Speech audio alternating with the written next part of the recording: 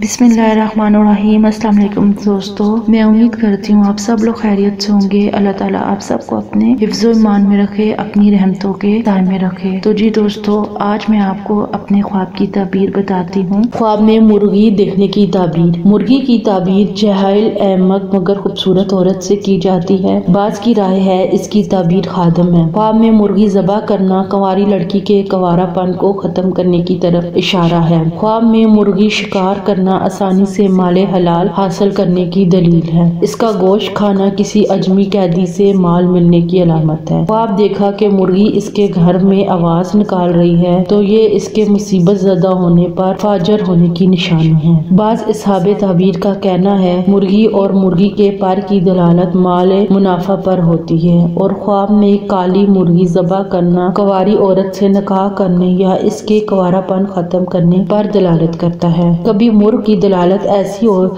औरत पर होती है जो यतीमों की परवरिश करती है। इनके लिए सदकात लेने की के लिए कोशिश करती है। कभी इसकी तबीर जलील और कमीनी किस्म की औरतें भी होती हैं। दाने चुनने वाली मुर्गी निशात वाली असील औरत और गोबर वगैरह खाने वाली घटिया नस्ल वाली औरत पर दलालत करती है। मुर्गी के चूजे जनात से पैदा शुदा औलाद पर दलालत करते हैं। और कभी दजाजा की तबीर साहिब औलाद औरत से की जाती है। ख्वाब में मरीज़ के पास मुर्गी या चूजा का आना आफियत की दलील है। ख्वाब में मुर्गी का अजान देना शार, गम या मौत की दलील है। ख्वाब में तंदुरुस्त आदमी के पास मुर्गी दाखिल होना ऐसे मर्ज में मुबतला होने की अलामत है, जिसमें मुर्गी को खाने की ज़रूरत हो। कभी घर में मुर्गी का दाखिल होना या इसका मालिक बनना जवाल गम व तकलीफ़ की दलील है। कभी नर, चूजे, औलाद या खुश लबाश या तंग से वसत हासिल, तंगी से वसत हासिल करने की अलामत अलामत होती है। आपने घर के अंदर लातदाद कसीर मुर्गी देखना, खौफ के खत्म होने और मालो दौलत पहुँचने की अलामत है। आज के ख्वाब की तबीर देखने का बहुत बहुत शुक्रिया। अगर आपके ख्वाब की तबीर मेरे ख्वाब की तबीर के मुताबिक निकलती है तो मुझे कमेंट सेक्शन में लाजमी बताइएगा। अगर आपके जहन में किसी भी किस्म का सवाल है तो आप मुझसे कमेंट सेक्शन में या फेसबुक पेज के मैसेज सेक्शन में पूछ सकते हैं। मैं आपको आपके